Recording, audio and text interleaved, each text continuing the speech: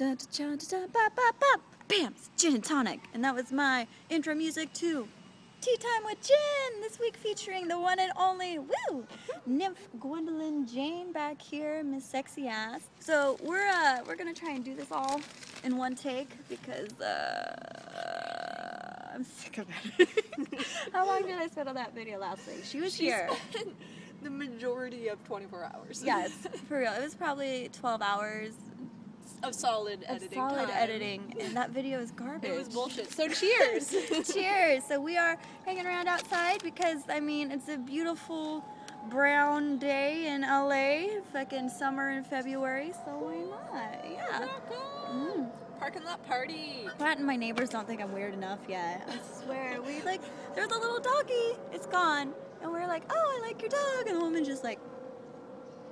She did not like us. She did not like you. She know. Well, I guess like my first day living here was that I had that body paint shoot with Trina Mary, so I'm walking across the whole parking lot just covered in paint. and had, buck ass naked. Pretty much. And There's just like those of you unfamiliar with Gwen's work. She's been staying with me. She's the best fine art nude model, and uh, you got quite the compliment recently on your titties. I did. It was really fantastic. They're apparently made of unicorn kisses, and then they're sugar coated. Oh, are they gonna come out? See? Ooh. Yeah. And True it's story. true. I've seen them. I'll put her links below. You can see them. They're out. By the way, speaking of true story, Ooh, yeah. I'm gonna be on How I Met Your Mother tomorrow. I'm, probably so not jealous supposed to say she that. give a shit. Now I'm gonna say what show you're on. Oh well. I won't say what show she's on, but can she's here in LA. a lot of money. a lot of money. I She's- signed that you can take all my money, Mhm. and I will live the entire rest of my life in debt I if I say anything. No, I won't tell. But she is here in LA for a few weeks, and we've just been kind of modeling it up, and uh, which involves a lot of. There's a lot of computer typing. little computer type. And she's also been motivating me with my workouts with Tony Horton, mainly drunk. I'm a whip you, bitch. A lot of tears too, from time time to time. breakdowns. Um, yeah, for sure. But it's been a blast otherwise. Gwen brought something to my attention this last week. She showed up and she's like, Oh, I feel bad. I'm drinking all your water because the water shortage.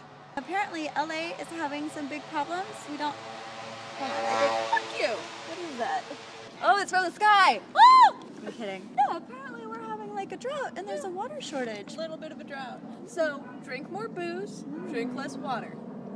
do your part. Speaking of which, LA, you are not doing your part. Fucking everywhere I drive has like water fountains and water features, and meanwhile, the LA River is a cement gutter.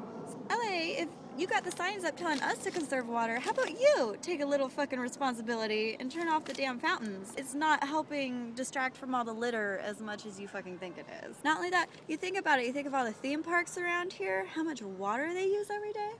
And I'm not saying Disneyland should like shut down their water Oh, or anything. no. Oh my god, there'd be so many pissed people. Can you imagine if pirates shut down for the drought? Like, That's my favorite. mm-mm. Oh no, people would be mad. But I'm just gonna say, well, a lot of people wouldn't be mad if they did like one day a week or a month or something, and they're just like, we're gonna, you know, save water for a day. I would really respect that move. If more people did something like that, said, hey, we're in the middle of a drought, we're gonna do our part. A lot better than rationing your shower time. Yeah, like we have to take shorter showers. Do you know how long it takes to shave? Fucking, well, not for Gwen. And she's teeny. I no. am teeny. Well, because your leg, lot longer. your leg just goes like up in the fucking air. I don't know what you do. It's the pretzel shape. Pretzel. She's got skills. This Check. is why you should hire me, Los Angeles. Yes. Don't miss out. Yes. don't hire us together though, because our sizes aren't complementary to Do you each see other. she's actually like three feet closer to the I- camera than me? intentionally because this bitch is very, very tall. Check this out. See this shit? Yeah. Next to her, I look like a child in photos, so I don't like that. status. Like short and chubby, so don't do that. Like unless you want to take photos separately, that's cool. We have a lot of fun on set. In fact, I met this bitch uh, on the cruise to Mexico 2012, and uh, there's a blog post about that somewhere there too. I could put the link. It's not very good, but there's some photos. You'll like those. Cheers, LA. We're gonna get back to being fabulous. And this week, um, I want to give a shout out to no one because you all suck. Except me. Oh yeah, except her. She's awesome. Thanks, guys. And this is how we end the night.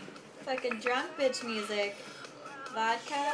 And I have a sucker. I'm chasing with a sucker. She's And I have pickle juice. when you're in a pinch for a chaser for possibly the world. The world's worst, cheapest plastic bottle vodka. And make life Cheers. tolerable. As much. It's like nail polish